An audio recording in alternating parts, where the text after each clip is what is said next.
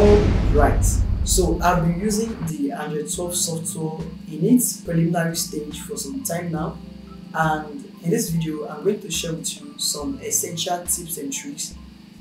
Also some major changes that made the Android 12 to be different from Android 11 although there is side-by-side -side comparison video between the Android 11 and Android 12 that is linked below in the description so you can go and check it out However, in this video, I'm going to show you the new features that the Android 12 is bringing so you get to know what and what to expect by the time the full version drops in August. Now, the first change here is the top menu. When you swipe down, the icon slaps. The changes are easily noticed, but most importantly are the efficiency and relatability. You can hold and drag to add titles or to remove titles. So you can easily edit the top menu to make it more user friendly. Secondly, at the top menu there's a feature called extra dim. When your phone is already in dark theme or in dark mode, you can make it even dimmer by clicking the extra dim. This is a feature that is very suitable at night for your eyes and it saves more battery life. Also, the volume button got some changes. It is bigger now than when compared to how tiny it was in Android 11. Now let me show you more interesting features.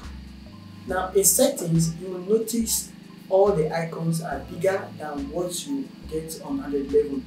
And as you're scrolling, you notice a sparkling that shines, but you only notice the sparkling when it is on dark mode.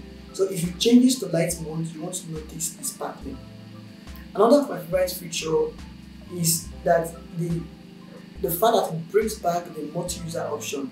This feature allow you to share your phone by add, by adding new users.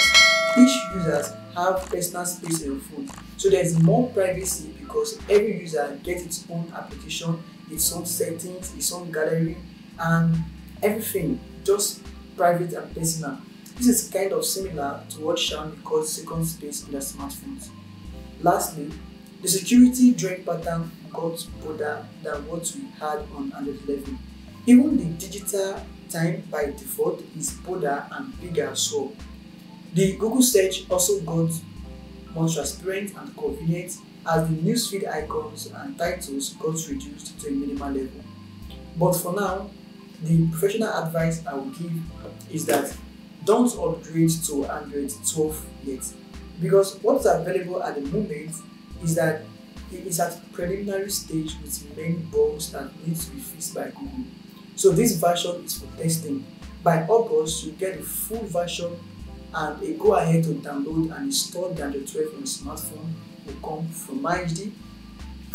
And okay, if you enjoyed this video, tell me uh, which of the feature you love more or you look forward to have on your smartphone when the Android 12 is fully developed by August. You can drop in the comment section and also remember to hit the subscribe button and turn on the post bell. Because follow me on social media where I drop more tech talk and uh, have more one-on-one uh, tech uh, smartphone leaks with you guys.